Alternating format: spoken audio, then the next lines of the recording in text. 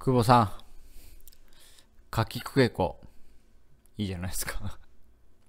じゃあ僕ね、かきくけこにかけて、ほうれん草にしましょうか。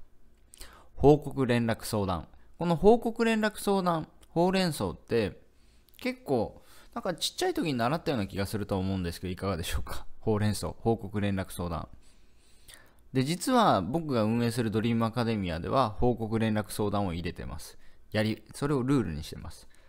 で、これもう8割以上ですかね。てか9割でもいいと思います。90%以上、うん、もう100%に近いんじゃないかなと思うんですけど、報告連絡相談をルーティンでやってる人は、まあ僕の元に来る人は、もうほぼ確実に結果出してますね。報告連絡相談。まあそれはそうですよね。報告します。連絡もします。相談もします。で、またやります。報告します。やったことの報告、連絡、相談します。ね？結果出ないわけないですよね だけど、結果出ない人は報告連絡相談がまずないですね。まずないです。だ報告連絡相談がないんで、結果出てるのかわかんないですけど その結果が出ましたっていう報告もないからわかんないですけど。だからまあ、あのー、なんだ、結果を出す上で、一人でできるんだったら別にいいんですけど、まあ、久保さんもね、当時ね、報告しまくっていましたよ。そう、相談はしてなかったかな報告しまくってましたね。ライブ放送で。広島の久保ですと。まあ、あとね、あの、ヒルズにも来てましたからね、報告しに。そう。わざわざ広島から金ねえのに、金がないのにね、金がないのにヒルズまでわざわざ来てましたよね、報告しに。で、セミナーやっちゃうみたいなね。久保さんちょっと喋ってくださいみたいなね。そう。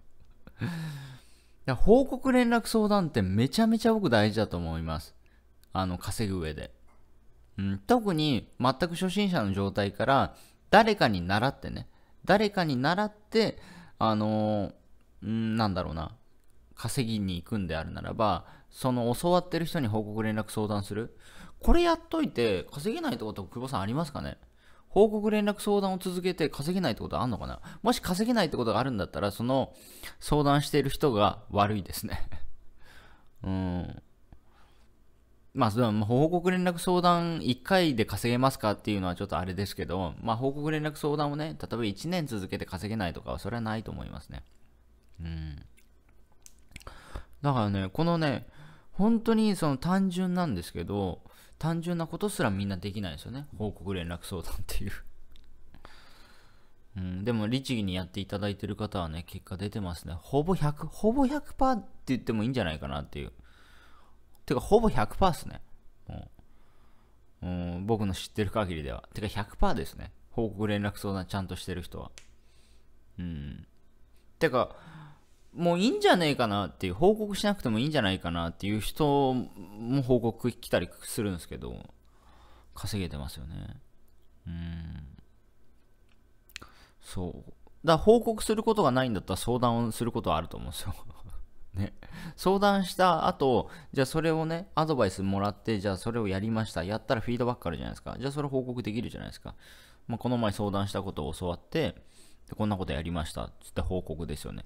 で、その報告したことに対してまたフィードバックもらえるだろうし。うん。まあ、あとは、まあ、こういうことありましたっていう連絡ちゃんとする。うん。これで稼げないってことあんのかな？